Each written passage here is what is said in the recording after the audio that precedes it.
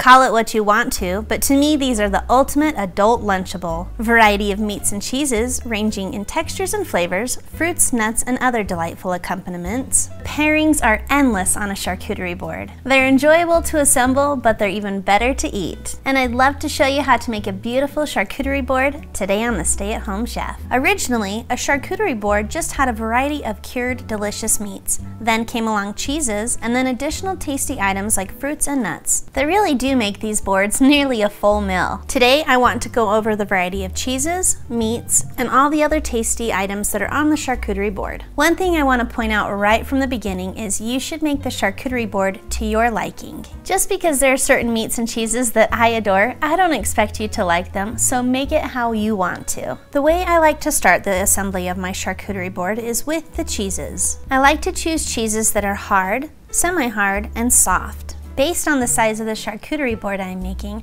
I may choose multiples from each of those categories. Using a large board, take those cheeses and place them around. Starting with my soft cheeses, I love having a cheese that is spreadable on my board, so I'm using a brie. And a flavored roulade cheese, which I have found so many tasty flavors of. I say get adventurous. A charcuterie board is an awesome opportunity to find something that you might just love. Another delicious soft cheese is a goat cheese.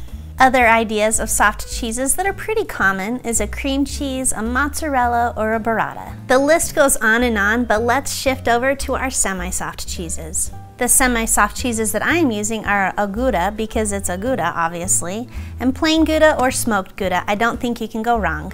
When I've got a wheel of cheese like this, I like to pre-cut a few little wedges.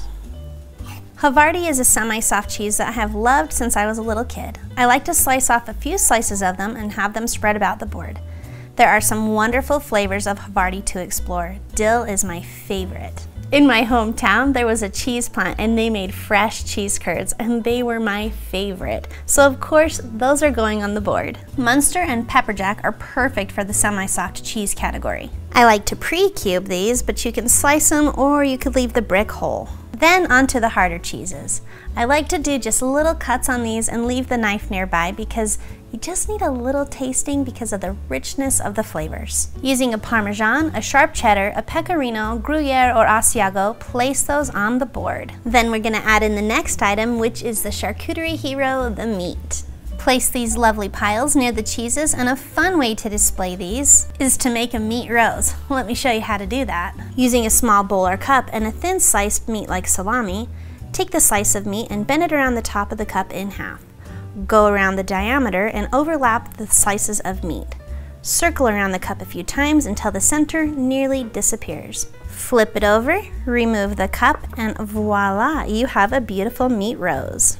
Place the different types of meats throughout the board and the variety is totally up to your choosing. This is totally satisfying just like this, but we're gonna make it even better by adding in some little accoutrements, such as a little honeycomb and honey, variety of olives, and then I love a light spread of stone ground mustard, so I always put that on my board.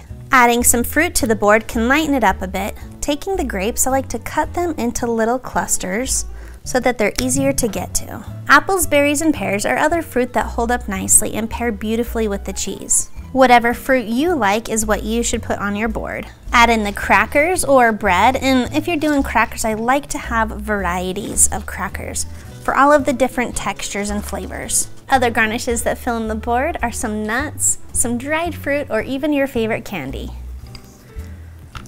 Charcuterie boards are so satisfying to make, but even more so to indulge in. With just a little bit of effort, you can have the best Lunchable or charcuterie board, whatever you want to call it, ever, and you are ready to eat.